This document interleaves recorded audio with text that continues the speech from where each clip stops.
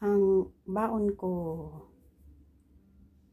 natira yan kahapon sa pizza. Tapos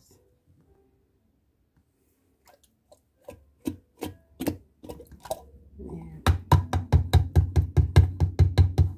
buhay OFW ayan may ulam na ako. Sardinas. Sa lata o di ba? Pinainat pinainit ko lang yung kanin. Okay na ayos na.